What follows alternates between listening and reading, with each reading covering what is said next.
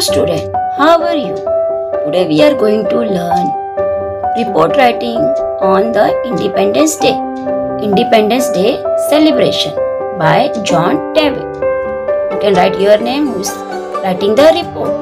August 16, Independence Day was celebrated yesterday on the school grounds. The program began at 8 a.m. sharp with the unfurling of the national flag. Everyone stood to attention while the school band played the national anthem. This was followed by a march past by the school boy scout. The headmaster and a few students gave crossing speeches about the importance of the day.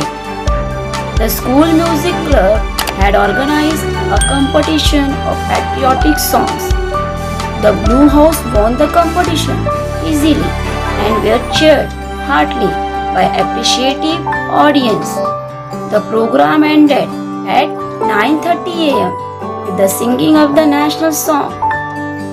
Sweets were distributed and the entire assembly dispersed.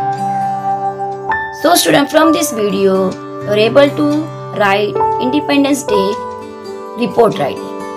Thanks for watching.